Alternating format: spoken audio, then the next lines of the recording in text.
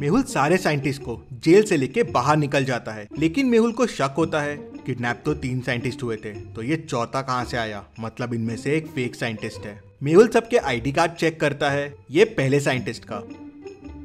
ये दूसरे साइंटिस्ट का। ये तीसरे साइंटिस्ट का। और ये चौथे साइंटिस्ट का। अब इनमें से एक आईडी कार्ड फेक है। क्या आप बता सकते हैं इनमें से कौन सा साइंटिस्ट फेक है? सोचिए और मुझे आपका आंसर कमेंट करके बताइए।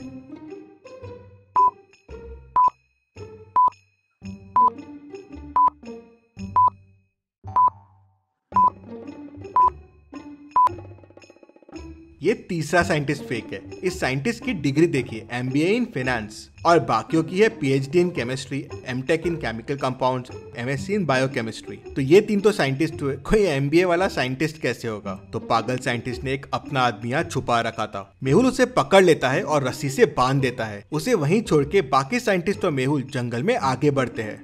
और यहाँ पागल साइंटिस्ट गुस्से में आ जाता है कि सारे साइंटिस्ट जेल से भाग गए हैं। वो तुरंत अपने आदमियों को और डॉग्स को उनके पीछे भेज देता है। पागल साइंटिस्ट ने जंगल में केमिकल लोचा मचा रखा था, जिसके वजह से जंगल के कुछ एरियाज़ की केमिस्ट्री बदल गई थी। हर कलर आपस में बदल गए थे। ग्रीन कलर येलो हो गया था, ब्राउन कलर ब्लैक हो गया था। अब आप सोचिए और मुझे बताइए, ट्री पे जो रेड एप्पल्स है, वो कौन से कलर के हो जाएँगे? सोचिए और मुझे आपका आंसर कमेंट करके बताइए।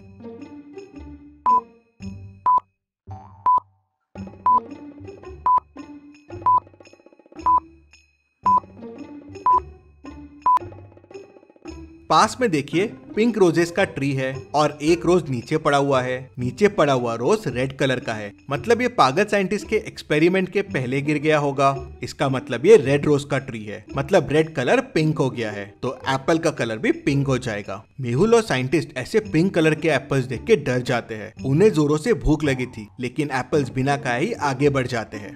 पागल साइंटिस्ट के जंगली कुत्ते मेहुल और बाकी साइंटिस्ट को ढूंढ ही रहे थे। पागल साइंटिस्ट पीछे से जंगली बैट्स भेज देता है। बैट्स तेज़ी से उड़ते हुए मेहुल और साइंटिस्ट के पास पहुँच जाते हैं। बैट्स उनको परेशान करने लगते हैं, काटने लगते हैं। मेहुल फ़ोन निकालता है हेल्प मांगने के लिए, लेकिन नेटवर्क ही नहीं आ रहा था। पास में लकड़ी के टुकड़े, कुछ स्टोन्स पड़े हुए थे। सोचिए और मुझे बताइए, क्या कर सकते हैं मेहुल और साइंटिस्ट बैट से बचने के लिए? आपका आंसर मुझे कमेंट करके बताइए।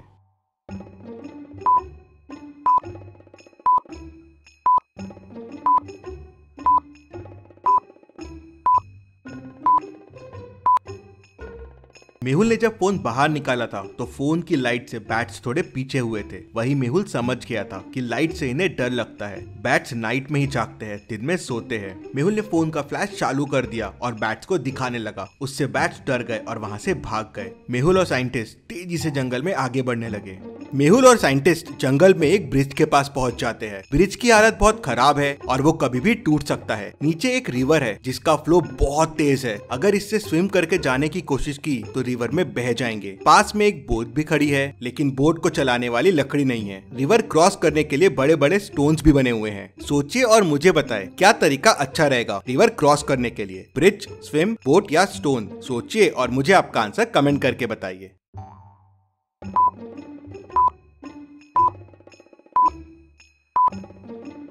रिवर का फ्लो बहुत तेज है तो स्विम और बोट काम नहीं आएँगे। अगर आपने बोट से जाने की कोशिश की तो वो अलग डायरेक्शन में ही निकल जाएगी। और अगर ब्रिज से गए तो वो टूट जाएगा और आप पानी में बह जाएँगे। मतलब स्टोन से कूद के जाना ही सेफ़ है। मेहुल और साइंटिस्ट भी वही करते हैं। स्टोन पे कूदते हुए रिवर क्रॉस कर लेते हैं और जंगल में आगे बढ़ते हैं। जंगल में आके बढ़ते बढ़ते मेहुल का पैर एक मधुमक्खी के छत्ते पे पड़ जाता है। उसमें से बहुत सारी मधुमक्खियाँ बाहर आ जाती है। मधुमक्खियाँ मेहुल और साइंटिस्ट को परेशान करने लगती है। वो आसपास देखते हैं तो ट्री की कुछ लकड़ियाँ पड़ी होती है, टोन्स पड़े होते हैं। अब इन मधुमक्खियों से बचने के लिए क्या करना होगा मेहुल और साइंटिस्ट को? उनके पास चार ऑप्शन है। पहला तो लकड़ी से मधुमक्खियों को भगाने की कोशिश करे। दूसरा, उनपे स्टोन्स फेंके। तीसरा, वहाँ से तेज़ी से भागे या चौथा धीरे धीरे चल के वहाँ से निकल जाए। आपको क्या लगता है, कौन सा तरीका सही रहेगा? सोचिए और जल्दी से आपका आंसर कमेंट कीजिए।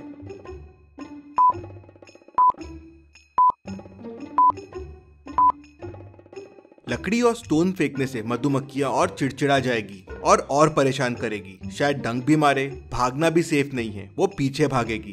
धीरे धीरे चलना ही सेफ़ होगा। वो लोग धीरे धीरे वहाँ से वॉक करना शुरू करते हैं और मधुमक्खियों से बच जाते हैं। तभी उन्हें पीछे से किसी के चलने की आवाज़ आती है। मेहुल को उसके बाजू में एक परछाई दिखती है। कि आप इस परछाई को देख के बता सकते हैं ये कौन होगा? सोचिए और जल्दी से आपका आंसर कमेंट कीजिए।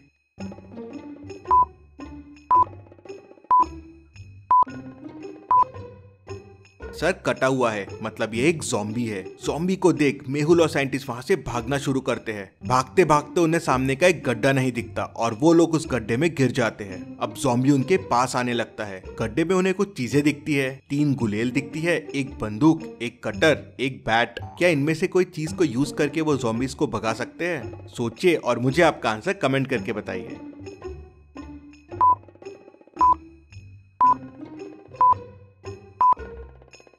मेहुल बैट भी यूज़ कर सकता है। लेकिन बैट सिर्फ़ एक है और उसके लिए जोम्बी के पास जाना पड़ेगा। गुलेल यूज़ करना बेस्ट रहेगा। वो दूर से ही जोम्बिस को मार सकते हैं और दूर ही रख सकते हैं। मेहुल और साइंटिस्ट गुलेल उठाते हैं और जोम्बिस पे स्टोन फेंकना शुरू कर देते हैं। जोम्बिस डर के वहाँ से भाग जाता है। मेहुल और साइंटिस्ट गड्ढे से बाहर निकलते हैं और जंगल में आगे बढ़ते हैं। तभी उन्हें हाईवे रोड दिख जाता है, लेकिन रोड तक पहुँचने के लिए उन्हें इस रिवर को क्रॉस करना होगा। रिवर पे स्टोन्स पड़े हुए हैं। वे लोग स्टोन्स पे कूदना शुरू करते हैं। पहले वन टू, फाइव, टेन और सेवनटीन पे जम्प करते हैं। अब नेक्स्ट स्टोन्स है ट्वेंटी फोर ट्वेंटी सिक्स और ट्वेंटी एट सोचिए और मुझे बताइए, उनको कौन से स्टोन पे जम्प करना चाहिए, जो सेफ़ होगा? अगर गलत स्टोन्स पे कूदे तो स्टोन टूट जाएँगे और वो लोग रिवर में बह जाएँगे।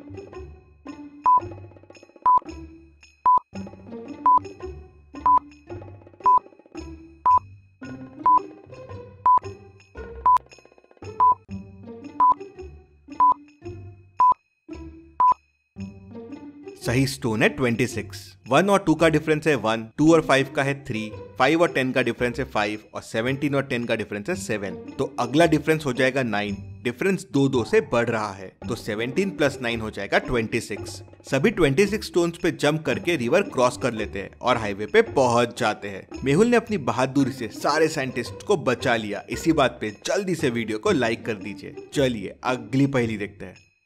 गोपाल एसोसिएट्स में एक बहुत बड़ा करप्शन हुआ था। वहाँ काफ़ी टाइम से मनी लॉन्ड्रिंग चल रही थी। इधर का पैसा उधर और उधर का पैसा इधर। पूरे मामले की तहकीकात करने डिटेक्टिव मेहुल को बुलाते हैं। मेहुल उनके ऑफ़िस पहुँचता है और उनके मैनेजर से बात करता है।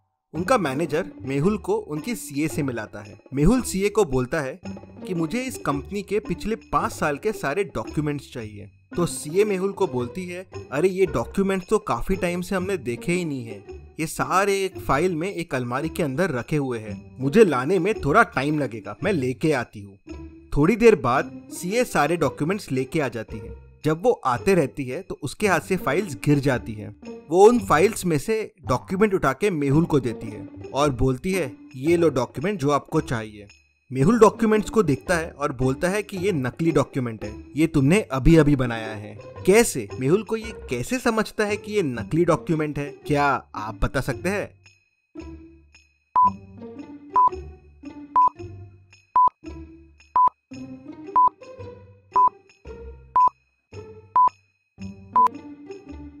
चलिए, इसका आंसर देखते हैं। सीए जो डॉक्यूमेंट्स मेहुल को देती है, उनमें होल्स नहीं थे। मतलब ये डॉक्यूमेंट कभी फ़ाइल में रखे ही नहीं गए। उसी से मेहुल को समझ जाता है कि सीए झूठ बोल रही है और उसे नकली डॉक्यूमेंट्स दे रही है। इतनी मज़ेदार पहलियों के लिए जल्दी से चैनल को सब्सक्राइब भी कर लीजिए। चलिए, अगली पहली देखते हैं। सना को काफ़ी जोरों से भूख लगी थी। आज उसने टमेटो चीज़ सैंडविचेस लेके आए थे। वो फ्रिज ओपन करती है अपने सैंडविचेस लेने के लिए, लेकिन उसके सैंडविचेस गायब रहते हैं। और बाजू में उसके सैंडविचेस का फॉइल पेपर पड़ा होता है। उसे बड़ा गुस्सा आ जाता है। वो ऑफ़िस फ्लोर पे जाती है देखने के लिए कि किसने उसकी सैंडविच खाई। तो वहाँ तीन लोग काम कर रहे होते हैं। रोहन कहता है मैं तो सुबह से इम्पोर्टेंट मीटिंग में हूँ, बस ये कॉफ़ी पी पी के ही काम चला रहा हूँ। हाँ मैंने तुम्हारे सैंडविचेस देखे थे फ्रिज में, रीमा कहती है। मैंने तो डोमिनोज से पिज्जा मंगवाया है, बहुत जोरों से भूख लगी थी। मैंने तो आज ऑफ़िस का फ्रिज खोला भी नहीं है, राहुल कहता है मैं तो सुबह से प्रेजेंटेशन की प्रिपरेशन कर रहा हूँ। मम्मी ने आलू के पराठे दिए थे, बस वही खाया हूँ। हाँ मैंने तुम्हारा पैकेट फ्रिज में ज़रूर देखा था। क्या आप तीनों की बातें सुन के बता सकते हैं सैंडविचेस किसने खाए होंगे? सोचिए और मुझे आपका आंसर कमेंट करके बताइए।